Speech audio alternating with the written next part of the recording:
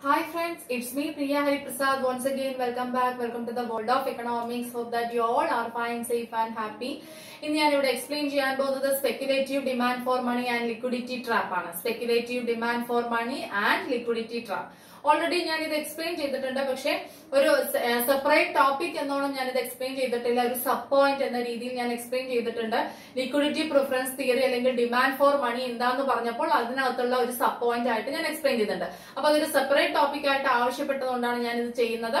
Okay അപ്പൊ previous video കാണാത്തവര് video കാണാത്തവര് അതായത് ഡിമാൻഡ് ഫോർ മണി അല്ലെങ്കിൽ ലിക്വിഡിറ്റി പ്രിഫറൻസ് തിയറി കാണണം. അത് കണ്ടതിന് ശേഷം ഇത് കാണുകയാണെങ്കിൽ ഒന്നുകൂടെ ഹെൽപ്ഫുൾ ആയിരിക്കും. ഓക്കെ അപ്പൊ സ്പെക്കുലേറ്റീവ് ഡിമാൻഡ് ഫോർ മണി അല്ലെങ്കിൽ ലിക്വിഡിറ്റി ട്രാപ്പ് എന്താണെന്ന് ഡിഗ്രി ലെവൽ സ്റ്റുഡൻസിന് സെപ്പറേറ്റ് ആയിട്ട് ഒരു ഷോർട്ട് എസ് ഒരു ഷോർട്ട് ക്വസ്റ്റൻ ആയിട്ട് ചോദിക്കുകയാണെങ്കിൽ എഴുതാൻ പറ്റുന്ന രീതിയിലുള്ള ഒരു ക്ലാസ് തന്നെയായിരിക്കും ഇത്. അപ്പൊ maximum try to watch it try to share with your friends please support my channel and subscribe my channel. Your support is my strength. Okay then come let's learn together. Let's begin the class. എന്താണെന്ന് നോക്കാം. എന്താണ് speculative demand for money demand for money എന്ന് പറഞ്ഞാൽ നമുക്കറിയാം tendency to hold money in its original form പണത്തിനെ പണമായിട്ട് തന്നെ സൂക്ഷിക്കാനുള്ള നമുക്കൊരു ടെൻഡൻസി ഉണ്ടല്ലോ. അതിനെയാണ് ഡിമാൻഡ് ഫോർ മണി എന്ന് പറയാം അല്ലെ?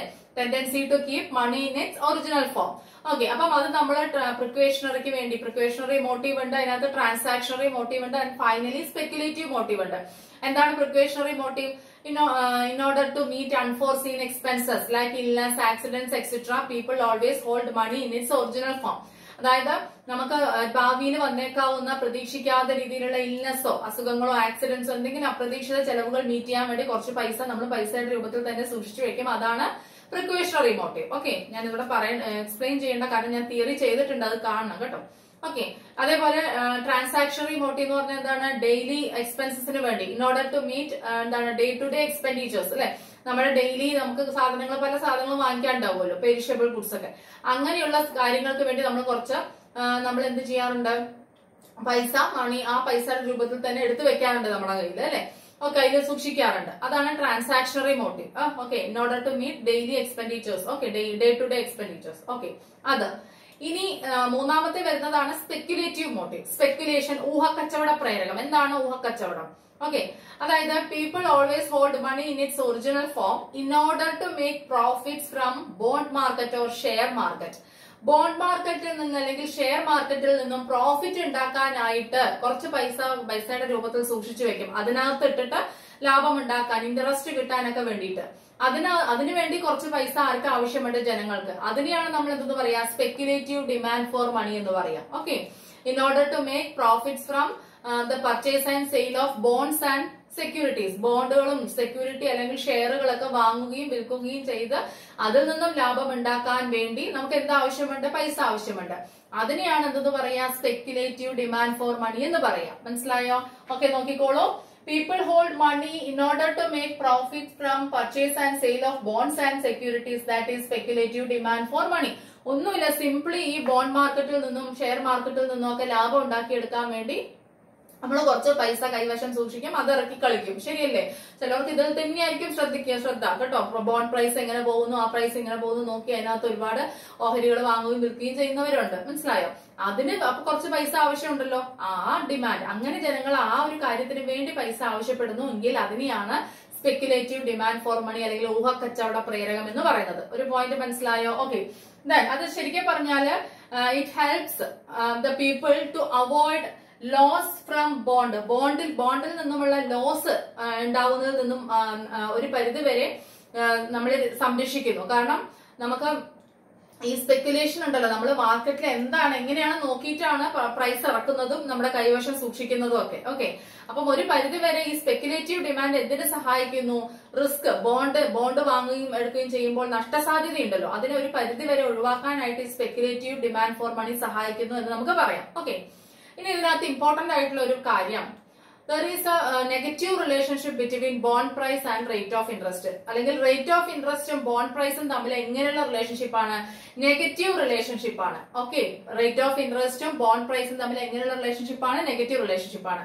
If higher the rate of interest lower the bond price and lower the rate of interest higher the bond price rate of interest high ആണെങ്കിൽ ബോണ്ട് പ്രൈസ് കുറയും. റേറ്റ് ഓഫ് ഇൻട്രസ്റ്റ് ലോ ആണെങ്കിൽ bond price കൂടും. മനസ്സിലായോ? ഇങ്ങനെ ഒരു relationship ഉണ്ട്. ഞാൻ പറയുമ്പോൾ മനസ്സിലാവും. എക്സ്പ്ലെയിൻ ചെയ്യാം. പക്ഷെ ആദ്യം നമ്മൾ ഇത് പോയിന്റ് എഴുതേണ്ട കാര്യമാണ് കേട്ടോ. ഞാൻ അങ്ങനെയാണ് ഓർഡറിലാണ് പറയുന്നത്. സ്പെക്യുലേറ്റീവ് ഡിമാൻഡ് ഫോർ മണി എന്താണെന്ന് എഴുതാം. അത് കഴിഞ്ഞ ശേഷം നമ്മൾ അവോയ്ഡ് റിസ്ക് അവോയ്ഡ് ചെയ്യാൻ വേണ്ടിയിട്ടാണ് അവോയ്ഡ് ചെയ്യാൻ സ്പെക്യുലേറ്റീവ് ഡിമാൻഡ് ഫോർ മണി സഹായിക്കുന്നു. ഓക്കെ ഇനി നമുക്ക് എന്താ പറയേണ്ടത്? റേറ്റ് ഓഫ് ഇൻട്രസ്റ്റും ബോണ്ട് പ്രൈസും തമ്മിൽ എങ്ങനെയുള്ള റിലേഷൻഷിപ്പ് ആണ്? നെഗറ്റീവ് റിലേഷൻഷിപ്പ് ആണ്. എന്ന് വെച്ചാൽ എന്താണ്? റേറ്റ് ഓഫ് ഇൻട്രസ്റ്റ് ഹൈ ആണെങ്കിൽ ബോണ്ട് പ്രൈസ് ലോ ആയിരിക്കും. റേറ്റ് ഓഫ് ഇൻട്രസ്റ്റ് ലോ ആണെങ്കിൽ ബോണ്ട് പ്രൈസ് ഹൈ ആയിരിക്കും. ഓക്കെ അത് എങ്ങനെയാണെന്ന് എക്സ്പ്ലെയിൻ ചെയ്ത് ഞാൻ പറഞ്ഞുതരാം. അപ്പം ഇത് അടുത്ത പോയിന്റ് ആയില്ലേ? ഓക്കെ ഇത് നോക്കിക്കോളൂ. നേ- നേരെ തിരിച്ചും ഇങ്ങനെ സംഭവിക്കും. Then price of bond is inversely related to market rate of interest bond price എന്ന് പറയുന്നത് inversely related to market rate of interest bond price related ആണ്. ഇൻട്രസ്റ്റുമായിട്ട് എങ്ങനെ ഇൻവേഴ്സ്ലി എന്ന് വെച്ചാൽ വിപരീതമായിട്ടാണ്. എന്ന് വെച്ചാൽ ഞാൻ പറഞ്ഞല്ലോ ഓപ്പോസിറ്റ് റിലേഷൻഷിപ്പ് ആണ് വരുന്നത്. റേറ്റ് ഓഫ് ഇൻട്രസ്റ്റ് കൂടുതലാണെങ്കിൽ ബോണ്ട് പ്രൈസ് കുറവായിരിക്കും റേറ്റ് ഓഫ് ഇൻട്രസ്റ്റ് കുറവാണെങ്കിൽ അങ്ങനെ മനസ്സിലായി? ആ ഒരു റിലേഷൻ ആണ് ഉള്ളത്. ഓക്കെ അപ്പൊ price of bond is inversely related to the market rate of interest okay അതൊരു പോയിന്റ് അല്ലേ? ഓക്കെ നോക്കിക്കോളൂ. Higher the rate of interest smaller will be speculative demand for money and vice versa rate of interest കൂടുതലാണെങ്കിൽ speculative demand for money കുറവായിരിക്കും. Rate of interest കൂടുതലാണെങ്കിൽ speculative demand for money എങ്ങനെയായിരിക്കും കുറവായിരിക്കും? അതായത് പലിശ നല്ലോണം പുറമേ നിന്ന് കിട്ടുന്നുണ്ട് എങ്കിൽ നമ്മുടെ കൈവശം പണം വെക്കാനുള്ള ടെൻഡൻസി കുറയും. ഈ സ്പെക്കുലേഷന് വേണ്ടി കൈവശം പണം വെക്കാനുള്ള ടെൻഡൻസി എന്ത് ചെയ്യും? കുറയും. റേറ്റ് ഓഫ് ഇൻട്രസ്റ്റ് കൂടുതലാണെങ്കിൽ എന്താണ് പറയുന്നത്? ഈ higher the rate of interest smaller will be speculative demand for money rate of interest കൂടുതലാണെങ്കിൽ സ്പെക്കുലേറ്റീവ് ഡിമാൻഡ് ഫോർ മണി എന്ത് ചെയ്യും? കുറയും. ആൻഡ് വൈസ് വേഴ്സ ഓക്കെ അതുകൊണ്ട് തന്നെ ഈ സ്പെക്കുലേറ്റീവ് ഡിമാൻഡ് ഫോർ മണിയുടെ കർവ് എങ്ങനെയായിരിക്കും? ഡൗൺവേർഡ് സ്ലോപ്പിംഗ് കർവ് ആയിരിക്കും. എങ്ങനെയായിരിക്കും സ്പെക്കുലേറ്റീവ് ഡിമാൻഡ് ഫോർ മണിയുടെ കർവ് ഡൗൺവേർഡ് സ്ലോപ്പിംഗ് കർവ് ആയിരിക്കും? ഓക്കെ അപ്പൊ ആ പോയിന്റ് ഒന്നും കൂടെ പറയാം. റേറ്റ് ഓഫ് ഇൻട്രസ്റ്റ് ഹൈ ആണെങ്കിൽ മാർക്കറ്റിൽ നല്ല പലിശ ഉണ്ട് എങ്കിൽ സ്പെക്യുലേറ്റീവ് ഡിമാൻഡ് ഫോർ മണി എന്തായിരിക്കും? കുറവായിരിക്കും. ലോ ആയിരിക്കും. എന്ന് വെച്ചാൽ നമ്മുടെ ഊഹ കച്ചവടത്തിന് വേണ്ടി നമ്മുടെ കൈവശം പണം നമ്മൾ സൂക്ഷിക്കില്ല. അതൊക്കെ പുറത്തിറക്കി നമ്മൾ റേറ്റ് ഓഫ് ഇൻട്രസ്റ്റ് കൂടുതൽ നേടാനുള്ള രീതികൾ നമ്മൾ ശ്രമിക്കും. മനസ്സിലായോ? നമ്മുടെ കൈവശം വെക്കില്ല. മനസ്സിലായോ? പലിശ കൂടുതലാണെങ്കിൽ സ്പെക്കുലേറ്റീവ് ഡിമാൻഡ് ഫോർ മണി കുറവായിരിക്കും. ആൻഡ് വൈസ് വേഴ്സ നേരെ തിരിച്ച് പലിശ കുറവാണെങ്കിൽ സ്പെക്കുലേറ്റീവ് ഡിമാൻഡ് ഫോർ മണി കൂടുതലായിരിക്കും. മാർക്കറ്റിൽ ഇപ്പം പലിശ ഇല്ലെങ്കിൽ നമ്മൾ കൈവശം വെക്കും. ഇനി ബാക്കി എന്ത് വരട്ടെ? പലിശ ഉയരട്ടെ എന്നും പറഞ്ഞിട്ട് നോക്കിയിരിക്കും. മനസ്സിലായല്ലോ? ഓക്കെ അത് ഒരു കാര്യം. അതുകൊണ്ട് തന്നെ സ്പെക്കുലേറ്റീവ് ഡിമാൻഡ് ഫോർ മണിക്ക് എന്ത് എന്ത് സ്ലോപ്പിംഗ് ആണ്? കർവ് എങ്ങനെയായിരിക്കും? ഡൗൺവേർഡ് സ്ലോപ്പിംഗ് ആയിരിക്കും. This is due to the fact that the opposite relationship between the rate of interest and speculative demand rate of ഇൻട്രസ്റ്റും speculative ഡിമാൻഡും തമ്മിലുള്ള ഓപ്പോസിറ്റ് റിലേഷൻഷിപ്പ് കാരണമാണ് ഡൗൺവേർഡ് സ്ലോപ്പിംഗ് കർവ് നമുക്ക് കിട്ടുന്നത്. മനസ്സിലായല്ലോ? ഇനി നോക്കിക്കോളൂ. കൺഫ്യൂഷൻ വേണ്ട. If market rate of interest is very high and everyone uh, expects it uh, to fall in the future that is rise in price of bond. നോക്കൂ market rate of interest very high ആണെന്ന് വിചാരിക്കുക. മാർക്കറ്റിൽ rate of interest high ആണെന്ന് വിചാരിക്കുക. അങ്ങനെ ആവുന്ന സമയത്ത് എല്ലാവരും എന്താ വിചാരിക്കുക? It to fall in the future ഭാവിയിൽ ഇത് കുറയും എന്ന് വിചാരിക്കും അല്ലെ? ഭാവിയിൽ റേറ്റ് ഓഫ് ഇൻട്രസ്റ്റ് കുറയും. അതുകൊണ്ട് തന്നെ ദാറ്റ് ഈസ് റൈസ് ഇൻ എന്ന് വെച്ചാൽ ആ സമയത്ത് ബോണ്ട് പ്രൈസ് എങ്ങനെയായിരിക്കും?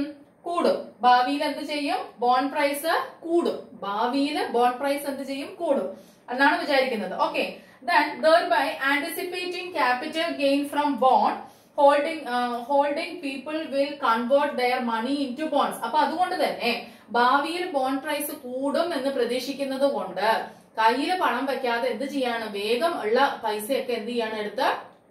എന്ത് ചെയ്യാണ്? ബോണ്ട് വാങ്ങിക്കുകയാണ്. ഭാവിയിൽ ബോണ്ട് പ്രൈസ് എന്ത് ചെയ്യും? കൂടും. അപ്പോൾ അത് നമുക്ക് എന്ത് ചെയ്യാം? വിൽക്കാം. അപ്പോൾ നമുക്ക് എന്ത് ചെയ്യാം? വിൽക്കാം. മനസ്സിലായോ? ഒന്നും കൂടെ പറഞ്ഞില്ല പെട്ടെന്ന് അങ്ങോട്ട് കിട്ടാൻ വഴിയില്ല. എന്താ നോക്കിക്കോളൂ. If market rate of interest is very high market rate of interest വളരെ ഹൈ ആയിരിക്കുന്ന സമയത്ത് എല്ലാവരും ഭാവിയിൽ അത് കുറയുമെന്ന് വിചാരിക്കുകയും അതേപോലെ തന്നെ ആ സമയത്ത് ആ സമയത്ത് എന്താണ് എന്ത് വിചാരിക്കുന്നു? Rise in price of bond ബോണ്ടിന്റെ price കൂടും. ഭാവിയിൽ അത് ബോണ്ടിന്റെ പ്രൈസ് കൂടും എന്ന് വിചാരിക്കുന്നു. അതുകൊണ്ട് തന്നെ thereby anticipating capital gain from bond അതുകൊണ്ട് തന്നെ എന്ത് ആന്റിസിപ്പേറ്റ് ചെയ്യാണ് അവർ? കണക്ക് കൂട്ടുകയാണ്. എന്താണ് നേരത്തെ കൂട്ടി കണക്ക് കൂട്ടുകയാണ്? എന്താണ്? ക്യാപിറ്റൽ ഗെയിൻ ഫ്രം ബോണ്ട് ബോണ്ടിൽ നിന്നും നേട്ടം നമുക്ക് ക്യാപിറ്റൽ ഗെയിൻ ഉണ്ടാക്കിയെടുക്കണം. അതിന് നമുക്ക് എന്ത് ചെയ്യും? People will convert their money into uh, their money into bonds വേഗം ജനങ്ങൾ അവരുടെ കൈവശമുള്ള പണത്തിന്റെ പണം എല്ലാം എന്താക്കി മാറ്റും? ബോണ്ടാക്കും കാരണം എന്താണ്? പിന്നീട് എന്തുണ്ട്? ബോണ്ടിന് വില കൂടും. അപ്പൊ ആ സമയത്ത് അവർക്ക് ലാഭത്തിന് വിൽക്കാവല്ലോ. മനസ്സിലായോ? ഇങ്ങനെയാണ് മാർക്കറ്റിൽ സംഭവിക്കുന്നത്. നേരെ തിരിച്ചു. ഇപ്പൊ market rate of interest very low ആണെങ്കിൽ എന്താ സംഭവിക്കുക? എല്ലാവരും അത് ഭാവിയിൽ കൂടുമെന്ന് വിചാരിക്കുകയും ബോണ്ട് പ്രൈസ് ഭാവിയിൽ എന്ത് ചെയ്യും? കുറയുമെന്ന് വിചാരിക്കുകയും ആ സമയത്ത് നമുക്ക് നഷ്ടസാധ്യത ഒഴിവാക്കാനായിട്ട് കയ്യിലുള്ള ബോണ്ട് ഒക്കെ ക്യാഷ് ആയിട്ട് വെക്കാൻ ശ്രമിക്കും. അപ്പൊ സ്പെക്കുലേറ്റീവ് ഡിമാൻഡ് ആവുന്നത്. കയ്യിലുള്ളതെല്ലാം ക്യാഷ് ആക്കി വെക്കാനായിട്ട് ശ്രമിക്കും. എങ്ങനെയാണ് നോക്കിക്കോളൂ? Market rate of interest low ആണെന്ന് വിചാരിക്കാം ലോ ആവുന്ന സമയത്ത് എല്ലാവരും വിചാരിക്കും ഭാവിയിൽ അത് കൂടുമെന്ന് വിചാരിക്കുകയും ബോണ്ട് പ്രൈസ് എന്ത് ചെയ്യാണ്? ഭാവിയിൽ എന്ത് ചെയ്യും? കുറയും. അതുകൊണ്ട് കയ്യിലുള്ള ബോണ്ട് എല്ലാം വിൽക്കുകയും കയ്യിൽ ക്യാഷ് ആയിട്ട് തന്നെ സൂക്ഷിക്കാനായിട്ട് ശ്രമിക്കും. മനസ്സിലായോ? അതാണ് എന്തെന്ന് പറയുന്നത്? ഈ സ്പെക്കുലേറ്റീവ് ഡിമാൻഡ് ഫോർ മണിയുടെ ഇമ്പോർട്ടന്റ് ആയിട്ടുള്ള ഒരു കാര്യം എന്ന് പറയുന്നത്. മനസ്സിലായോ? അപ്പോ സ്പെക്കുലേറ്റീവ് ഡിമാൻഡ് ഫോർ മണി എന്ന് പറഞ്ഞാൽ ഈ ഊഹക്കച്ചവടത്തിൽ നിന്ന് ലാഭം ഉണ്ടാക്കാൻ വേണ്ടി ജനങ്ങൾ കൈവശം പണം സൂക്ഷിക്കുന്നു. അല്ലെ? In order to make profits from bond market share market അല്ലെ? അങ്ങനെയുള്ള കാര്യങ്ങളിൽ നിന്നും ലാഭം ഉണ്ടാക്കാൻ. അതാണ് സ്പെക്കുലേറ്റീവ് ഡിമാൻഡ് ഫോർമുല ഒരു കാര്യം മനസ്സിലായോ? ഇനി റേറ്റ് ഓഫ് ഇൻട്രസ്റ്റും ബോണ്ട് പ്രൈസും തമ്മിൽ നെഗറ്റീവ് റിലേഷൻഷിപ്പ് ആണ്. റേറ്റ് ഓഫ് ഇൻട്രസ്റ്റ് കൂടുതലാണെങ്കിൽ ബോണ്ട് പ്രൈസ് കുറയും. റേറ്റ് ഓഫ് ഇൻട്രസ്റ്റ് കുറയുകയാണെങ്കിൽ ബോണ്ട് പ്രൈസ് കൂടും. അതൊരു കാര്യം. എന്ന് വെച്ചാൽ rate of interest sorry price of bond എന്ന് പറയുന്നത് inversely related to the rate of interest okay അതേപോലെ തന്നെ റേറ്റ് ഓഫ് ഇൻട്രസ്റ്റ് ഹൈ ആണെങ്കിൽ സ്പെക്കുലേറ്റീവ് ഡിമാൻഡ് ലോ ആയിരിക്കും. റേറ്റ് ഓഫ് ഇൻട്രസ്റ്റ് കൂടുതലാണെന്നുണ്ടെങ്കിൽ എന്താണ്? സ്പെക്കുലേറ്റീവ് നമ്മുടെ കൈവശം എന്താണ് ഡിമാൻഡ് ഡിമാൻഡ് ഫോർ മണി എങ്ങനെയായിരിക്കും? സ്മോളർ ആയിരിക്കും കുറവായിരിക്കും. റേറ്റ് ഓഫ് ഇൻട്രസ്റ്റ് കൂടുതലാണെങ്കിൽ അല്ലെ? മനസ്സിലായോ? അത് ഞാൻ എക്സ്പ്ലെയിൻ ചെയ്ത് പറഞ്ഞുതരാം. അപ്പൊ അതുകൊണ്ട് തന്നെ ഡൗൺവേർഡ് സ്ലോപ്പിംഗ് കർവാണ് ഇതിന്റെ ഈ സ്പെക്കുലേറ്റീവ് ഡിമാൻഡ് ഫോർ മണിയുടെ കർവ് ഡൗൺവേർഡ് സ്ലോപ്പിംഗ് ആയിരിക്കും. ഓക്കെ ഒരു കാര്യം. നോക്കിക്കോളൂ market rate of interest high ആണെന്ന് വിചാരിക്കുക. അപ്പൊ എല്ലാവരും വിചാരിക്കുകയാണ് ഭാവിയിൽ അത് കുറയും. ഭാവിയിൽ അത് കുറയുകയും ബോണ്ട് പ്രൈസ് കൂടുകയും ചെയ്യുമെന്ന് വിചാരിക്കുന്നു. ഓക്കെ ഇപ്പൊ ബോണ്ട് പ്രൈസ് കുറവാണ്. കാരണം റേറ്റ് ഓഫ് ഇൻട്രസ്റ്റ് ഹൈ ആയി കഴിഞ്ഞാൽ ബോണ്ട് പ്രൈസ് ഇപ്പൊ കുറവാണ്. അപ്പൊ ഭാവിയിൽ എന്താണ് rise in the price of bond പ്രതീക്ഷിക്കുകയാണ്. അങ്ങനെ അവർ by anticipating capital gain from the bond ബോണ്ടിൽ നിന്നും ക്യാപിറ്റൽ ഗെയിൻ ഉണ്ടാക്കിയെടുക്കാൻ എന്താ ചെയ്യുന്നത്? ഹോൾഡിംഗ് പീപ്പിൾ കയ്യിൽ പണം സൂക്ഷിച്ചിരുന്ന ആൾക്കാരെല്ലാം convert their money into bond അവരുടെ മണി എല്ലാം അവർ എന്തായിട്ട് മാറ്റിയെടുക്കും? ബോണ്ടായിട്ട് കാരണം എന്താ? ഭാവിയിൽ ബോണ്ട് പ്രൈസ് കൂടുന്നുണ്ട്. അപ്പൊ വിറ്റാൽ ഇവർക്ക് ലാഭം കിട്ടും. ശരിയല്ലേ? അങ്ങനെ ചെയ്യുന്നു. നേരെ തിരിച്ചും സംഭവിക്കും. എങ്ങനെ? റേറ്റ് ഓഫ് ഇൻട്രസ്റ്റ് കുറവാണെന്നുണ്ടെങ്കിൽ എല്ലാവരും അത് ഭാവിയിൽ കൂടുമെന്ന് പ്രതീക്ഷിക്കുകയും ആ സമയത്ത് ബോണ്ട് പ്രൈസ് കൂടുതലായിരിക്കും. ഭാവിയിൽ കുറയും. ബോണ്ട് പ്രൈസ് എന്ത് ചെയ്യും? ഭാവിയിൽ കുറയുമെന്ന് പ്രതീക്ഷിക്കുകയും. അതുകൊണ്ട് തന്നെ കയ്യിലുള്ള ബോണ്ട് എല്ലാം ക്യാഷ് ആയിട്ട് കൺവേർട്ട് ചെയ്ത് വെക്കും. അപ്പൊ സ്പെക്കുലേറ്റീവ് ഡിമാൻഡ് ഹൈ ആയിരിക്കും. മനസ്സിലായോ? അപ്പൊ ഞാൻ പറഞ്ഞ റിലേഷൻ കറക്റ്റ് അല്ലേ? റേറ്റ് ഓഫ് ഇൻട്രസ്റ്റ് ഹൈ ആണെങ്കിൽ സ്പെക്കുലേറ്റീവ് ഡിമാൻഡ് കുറവായിരിക്കും. മനസ്സിലായോ? ഇത് രണ്ടു മൂന്ന് പ്രാവശ്യം ഒന്നും കേട്ട് നോക്കാതെ നിങ്ങൾക്ക് കൺഫ്യൂഷൻ മാറില്ല. ഈ ഒരു കൺഫ്യൂഷൻ എല്ലാവർക്കും ഉണ്ടാവുന്നതാണ്. മനസ്സിലായോ? അത് ബുദ്ധിമുട്ടാവില്ല രണ്ടു മൂന്ന് പ്രാവശ്യം കേട്ട് നോക്കിയിട്ട് ഒന്ന് എഴുതി നോക്കുക. ഓക്കെ ഇനി നമുക്ക് ഒരു കാര്യം കൂടെ ഇതിനകത്ത് പറയാം. ലിക്വിഡിറ്റി ട്രാപ്പ് എന്താണെന്ന് പറയാം. ഓക്കെ ഈ ലിക്വിഡിറ്റി ട്രാപ്പ് എന്ന് പറയുന്നത് ഒരു റേറ്റ് ഓഫ് ഇൻട്രസ്റ്റ് എന്ന് പറയുന്നത് ഒരു മിനിമം അതിലോട്ട് താഴോട്ട് വരും. അത് കഴിഞ്ഞാൽ അത് അങ്ങോട്ട് ഒരിക്കലും എന്ത് ചെയ്യില്ല. റേറ്റ് ഓഫ് ഇൻട്രസ്റ്റ് അതിന്റെ ആ മിനിമം റേറ്റിനേക്കാളും ഒരിക്കലും താഴോട്ട് പോവില്ല. റേറ്റ് ഓഫ് ഇൻട്രസ്റ്റ് ഒരു മിനിമം റേറ്റിൽ എത്തിക്കഴിഞ്ഞാൽ ഏറ്റവും മിനിമം റേറ്റിൽ എത്തിക്കഴിഞ്ഞാൽ അതിന്റെ താഴോട്ട് റേറ്റ് ഓഫ് ഇൻട്രസ്റ്റ് ഒരിക്കലും കുറയില്ല. ഇനി നമുക്ക് പഠിക്കണം. Rate of interest speculative demand for money എന്നുള്ള റിലേഷൻഷിപ്പ് നെഗറ്റീവ് റിലേഷൻഷിപ്പ് ആണ്. റേറ്റ് ഓഫ് ഇൻട്രസ്റ്റ് ഹൈ ആണെങ്കിൽ speculative demand for money low ആയിരിക്കും അല്ലെ? അതുകൊണ്ട് സ്പെക്കുലേറ്റീവ് ഡിമാൻഡ് ഫോർ മണിയുടെ കർവ് നമുക്ക് ഇങ്ങനെയാണ് ഡൗൺവേർഡ് സ്ലോപ്പിംഗ് ആണ് കിട്ടുക. ഓക്കെ ഇവിടെ നോക്കിക്കോളൂ. ലിക്വിഡിറ്റി ട്രാപ്പ് എക്സ്പ്ലെയിൻ ചെയ്യുന്ന ഡയഗ്രാം ആണ്. അതിനകത്ത് എക്സ് ആക്സിസിൽ speculative demand for money okay then Y ആക്സിസിൽ റേറ്റ് ഓഫ് ഇൻട്രസ്റ്റും ആണ് മെഷർ ചെയ്യുന്നത്. ദെൻ ഇതാണ് എം എസ് ഡി എന്ന് ഞാൻ എഴുതിയിട്ടില്ലേ? അതാണ് സ്പെക്കുലേറ്റീവ് ഡിമാൻഡ് ഫോർ മണിയുടെ കർവ് അത് ഡൗൺവേർഡ് സ്ലോപ്പിംഗ് കർവ് ആണ്. മനസ്സിലായല്ലോ? ഓക്കെ ഇനി എന്താ പറയേണ്ടത്? ഞാൻ പറഞ്ഞു റേറ്റ് ഓഫ് ഇൻട്രസ്റ്റ് ഇവിടെ ഹൈ ആണെങ്കിൽ സ്പെക്കുലേറ്റീവ് ഡിമാൻഡ് ഫോർ മണി എങ്ങനെയായിരിക്കും? ലോ ആയിരിക്കും അല്ലെ? അതേപോലെ നേരെ തിരിച്ചും. നോക്കിക്കോളൂ. റേറ്റ് ഓഫ് ഇൻട്രസ്റ്റ് ഇവിടെ ഇത്രയുണ്ടെങ്കിൽ സ്പെക്കുലേറ്റീവ് ഡിമാൻഡ് ഫോർ മണി ഇത്രയല്ലേ കാണിക്കുന്നുള്ളൂ ഇത്രയല്ലേ കാണിക്കുന്നുള്ളൂ. ഓക്കെ അപ്പൊ റേറ്റ് ഓഫ് ഇൻട്രസ്റ്റ് കുറഞ്ഞു വരുന്നോറും സ്പെക്കുലേറ്റീവ് ഡിമാൻഡ് ഫോർ മണി കൂടും. മനസ്സിലായോ? ഇനി സ്പെക്കുലേറ്റീവ് റേറ്റ് ഓഫ് ഇൻട്രസ്റ്റ് ഒരു മിനിമം റേറ്റിൽ എത്തിക്കഴിഞ്ഞാൽ ദെൻ ഇവിടെ ഈ ഡിമാൻഡ് ഫോർ മണി അതായത് സ്പെക്കുലേറ്റീവ് ഡിമാൻഡ് ഫോർ മണിയുടെ കർവ് പെർഫെക്റ്റ്ലി ഇലാസ്റ്റിക് ആവുകയാണ് ഇൻഫിനിറ്റ് ആവുകയാണ് അനന്തമായിട്ട് ജനങ്ങൾ എന്താ ചെയ്യാം റേറ്റ് ഓഫ് ഇൻട്രസ്റ്റ് പറ്റെ കുറയുകയാണെങ്കിൽ അനന്തമായിട്ട് എന്താ ചെയ്യുന്നത്? കയ്യിൽ പണം സൂക്ഷിക്കാനാണ് വെക്കുന്നത് സൂക്ഷിക്കാനാണ് വെക്കുന്നത്. അങ്ങനെ ഈ perfectly elastic portion of speculative demand for money ഉണ്ടല്ലോ. Perfectly elastic portion of speculative demand for money എന്ന് പറയുന്ന ആ കർവ് ഉണ്ടല്ലോ. ഈ പോർഷൻ ഉണ്ടല്ലോ. ഇതിനെയാണ് നമ്മൾ എന്തെന്ന് പറയാ ലിക്വിഡിറ്റി ട്രാപ്പ് എന്ന് പറയാ മനസ്സിലായോ? അതിനെയാണ് എന്തെന്ന് പറയാ ലിക്വിഡിറ്റി ട്രാപ്പ് അപ്പൊ ഒരു മിനിമം റേറ്റ് ഓഫ് ഇൻട്രസ്റ്റ് എത്തിക്കഴിഞ്ഞാൽ അത് എന്ത് കൂടിക്കൊണ്ടേയിരിക്കും? അനന്തമായിട്ട് കൂടിക്കൊണ്ടിരിക്കും. സ്പെക്യുലേറ്റീവ് ഡിമാൻഡ് ഫോർ മണി കൂടും. അപ്പൊ അതെന്തെന്ന് വെച്ചാൽ ജനങ്ങൾ ഒരു ട്രാപ്പിൽ അകപ്പെടുകയാണ് അല്ലെ? ഒരു ഇനി ഇൻട്രസ്റ്റ് റേറ്റ് അങ്ങോട്ട് കുറയില്ല എന്ന് വിചാരിക്കുകയും അതേപോലെ തന്നെ കയ്യിൽ പണം ഇങ്ങനെ സൂക്ഷിക്ക സൂക്ഷിക്കാനുള്ള ടെൻഡൻസി കൂടുകയും ചെയ്യും. അനന്തമായിട്ട് കൂടുകയും ചെയ്യും. അതാണ് ഇങ്ങനെ കാണിക്കുന്നത്. ഒരുപാട് അങ്ങോട്ട് ഇങ്ങനെയാണ് പോകുന്നത്. മനസ്സിലായോ? അപ്പം അതിനെയാണ് നമ്മൾ എന്ത് പറയാ ലിക്വിഡിറ്റി ട്രാപ്പ് എന്ന് പറയാം. അപ്പം പെർഫെക്റ്റ്ലി ഇലാസ്റ്റിക് ആണ് എന്തെന്ന് പറയുന്നത്? സ്പെക്യുലേറ്റീവ് ഡിമാൻഡ് ഫോർ മണിയുടെ കർവ് പെർഫെക്റ്റ്ലി ഇലാസ്റ്റിക് ആണ്. റേറ്റ് ഓഫ് ഇൻട്രസ്റ്റ് ഹൈ ആണെങ്കിൽ speculative demand for money low ആയിരിക്കും. അത് പറയണം. അത് കഴിഞ്ഞിട്ട് rate of rate of interest മിനിമത്തിൽ എത്തിക്കഴിഞ്ഞാൽ ഒരു മിനിമത്തിൽ എത്തിയാൽ ജനങ്ങൾക്കുള്ള ആ ഒരു ടെൻഡൻസി ഇൻഫിനിറ്റ് ആവുകയാണ്. ഓക്കെ എന്ന് വെച്ചാൽ speculative demand for money perfectly elastic ആവുകയാണ് എന്ന് വെച്ചാൽ അനന്തമായിട്ട് നമ്മൾ റേറ്റ് ഓഫ് ഇൻട്രസ്റ്റ് ലോ ആണെങ്കിൽ കൈവശം സൂക്ഷിക്കാനുള്ള ആ ടെൻഡൻസി കൂടുതലായിരിക്കും വരിക. അനന്തമായിട്ടാണ് കൂടുതൽ. ആ ഒരു പോർഷനെയാണ് നമ്മൾ എന്തെന്ന് പറയുക? എന്തെന്ന് പറയുക? ലിക്വിഡിറ്റി ട്രാപ്പ് എന്ന് പറയും. ജനങ്ങൾ ഒരു ട്രാപ്പിൽ പെട്ടു എന്നാണ് പറയുന്നത്. Okay then low rate of interest M S then speculative ഡിമാൻഡ് for uh, for money curve becomes infinite rate of interest low ആയാൽ സ്പെക്കുലേറ്റീവ് ഡിമാൻഡ് ഫോർ മണിയുടെ കർവ് ഇൻഫിനിറ്റ് ആവാണ് അനന്തമാവാണ്. അതാണ് എന്തെന്ന് പറയുന്നത് ലിക്വിഡിറ്റി ട്രാപ്പ് അതായത് perfectly elastic portion of speculative demand for money curve അതിനെയാണ് നമ്മൾ എന്തെന്ന് പറയാ? ലിക്വിഡിറ്റി ട്രാപ്പ് എന്ന് പറയാ. ഓക്കെ അപ്പൊ ലിക്വിഡിറ്റി ട്രാപ്പ് പറയുമ്പോൾ ഡയഗ്രാം വരയ്ക്കാം. എക്സ് ആക്സിസിൽ speculative demand for money Y ആക്സിസിലെ rate of interest speculative demand for മണിയുടെ കർവ് ആണ് ഇത്. ഡൗൺവേർഡ് സ്ലോപ്പിംഗ് ആണ്. This is due to the fact that എന്താണ് ഓപ്പോസിറ്റ് റിലേഷൻഷിപ്പ് ആണ് റേറ്റ് ഓഫ് ഇൻട്രസ്റ്റും സ്പെക്കുലേറ്റീവ് ഡിമാൻഡ് ഫോർ മണിയും റേറ്റ് ഓഫ് ഇൻട്രസ്റ്റ് ഹൈ ആണെങ്കിൽ speculative demand for money low ആയിരിക്കും ആൻഡ് വൈസ് വേഴ്സ അത്രയും എക്സ്പ്ലെയിൻ ചെയ്യുക. ദൻ ഈ കർവ് എന്ന് പറയുന്നത് സ്പെക്കുലേറ്റീവ് ഡിമാൻഡ് ഫോർ മണിയുടെ കർവ് എന്ന് പറയുന്നത് പെർഫെക്റ്റ്ലി ഇലാസ്റ്റിക് ആണ്. എന്ന് വെച്ചാൽ ഇന്ററസ്റ്റ് ഇലാസ്റ്റിക് ആണ്. ലോ റേറ്റ് ഓഫ് ഇൻട്രസ്റ്റ് ആണെങ്കിൽ സ്പെക്കുലേറ്റീവ് ഡിമാൻഡ് ഫോർ മണി അനന്തമാവുകയാണ് ഇൻഫിനിറ്റ് ആവുകയാണ് മനസ്സിലായോ? അതാണ് ഇങ്ങനെ ഇങ്ങനെ നീട്ടി വരച്ചേക്കുന്നത്. അങ്ങനെ ഇൻഫിനിറ്റ് അനന്തമായിട്ട് പോയിക്കൊണ്ടിരിക്കുകയാണ്. മനസ്സിലായോ?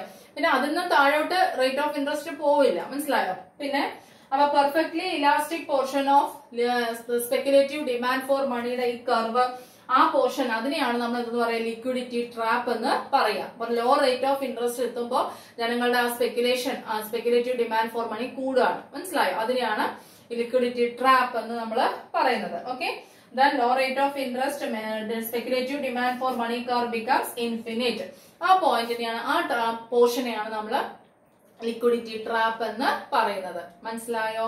ഓക്കെ അപ്പം ഇതൊരു ടോപ്പിക് ആയിട്ട് നിങ്ങൾക്ക് എഴുതാൻ പറ്റും. സ്പെക്കുലേറ്റീവ് ഡിമാൻഡ് ഫോർ മണി മാത്രമായിട്ട് ചോദിക്കുകയാണെങ്കിൽ ഇത്രയും കാര്യങ്ങൾ എഴുതാം. അതിനകത്ത് ലിക്വിഡിറ്റി ട്രാപ്പും കൂടെ ഉൾപ്പെടുത്തണം എന്ന് ഞാൻ പറയും. കാരണം എന്നാലേ അത് കംപ്ലീറ്റ് ആവുള്ളൂ കേട്ടോ നിങ്ങളുടെ സ്കോർ അനുസരിച്ചിട്ട് ആൻസർ ചെയ്യാനായിട്ട് ശ്രമിക്കാം. അപ്പൊ ഇത് യൂസ്ഫുൾ ആയിരിക്കും. ഇത് കാണുന്നതിനൊക്കെ മുമ്പ് demand for money supply of money അങ്ങനെ തുടങ്ങിയ മാക്രോ എക്കണോമിക്സിൽ ഒരുപാട് വീഡിയോസ് ഉണ്ട്. അതെല്ലാം കാണാൻ ശ്രമിക്കുക. മാക്സിമം ഷെയർ ചെയ്യാൻ ശ്രമിക്കുക. എന്തെങ്കിലും സജഷൻ ഉണ്ടെങ്കിൽ ലെറ്റ് മീ നോ വീണ്ടും അടുത്ത വീഡിയോയിലൂടെ കാണുന്നവരേക്കും എക്സ് me Priya Hariprasad thank you thanks a lot